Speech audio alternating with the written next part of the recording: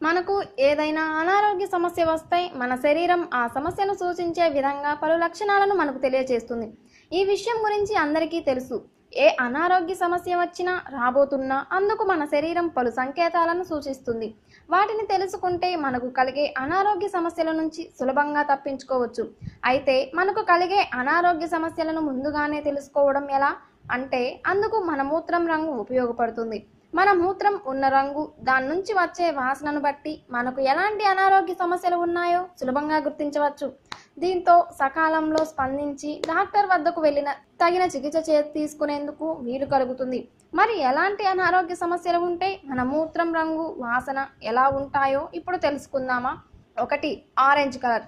Anti inflammatory drugs chemotherapy drugs laxative డ్రగ్స్ను వాడితే మూత్రం రంగు ఆరెంజ్ కలర్లో వస్తుంది. దీంతో పాటు vitamin B two beta carotene ఎక్కువగా ఉండే క్యారెట్ వంటి ఆహారాలను తిన్న మూత్రం రంగు ఇలా మారుతుంది. అయితే ఇవేవి కారణాలు కాకపోతే మీరు నీటిని సరిగ్గా తాగడం లేదని అర్థం. నీటిని తగినంత తాగకపోయినా మూత్రం రంగు ఆరెంజ్లోకి మారుతుంది. కనుక నీటిని ఎక్కువగా తాగాలి. ఇక ఇవే కాకుండా లివర్ కంటి సమస్యలు ఉన్నా అలా మూత్రం ఆరెంజ్ రంగులో వస్తుంది. కనుక వీటి పట్ల జాగ్రత్త తీసుకోవాల్సి ఉంటుంది. రెండు పింక్ లేదా ఎరుపు. ఎరుపు లేదా పింక్ రంగులో ఉండే ఆహారాలను తింటే మూత్రం కూడా ఇదే రంగులో వస్తుంది. దీనికి చింతించాల్సిన పని లేదు.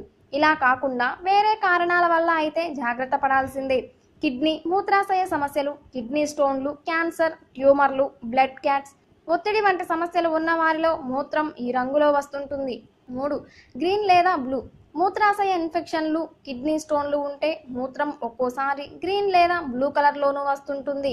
నాలుగు బ్రౌన్ డీహైడ్రేషన్ కడుపు నొప్పి ర్యాషెస్ మూర్ఛ ట్యూమర్లు వంటి సమస్యలు ఉంటే మూత్రం బ్రౌన్ రంగులో వస్తుంది. ఐదు మూత్రంలో నురగ. మూత్రంలో నురగ వస్తుంటే అది కిడ్నీ ఇన్ఫెక్షన్ లేదా తీవ్రమైన కిడ్నీ వ్యాధికి అయి ఉండవచ్చు.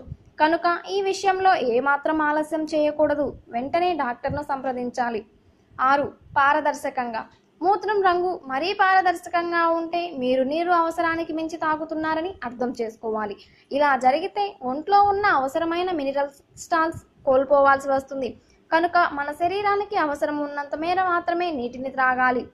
ఏడు పసుపు రంగు. లేత లేదా ముదురు పసుపు రంగుల్లో మా మూత్రం వస్తుంటే చింతించాల్సిన పని లేదు. కాకపోతే ముదురు పసుపు రంగులో మూత్రం వస్తేనే నీరు ఎక్కువగా త్రాగాలి. లేదంటే అవసరం లేదు.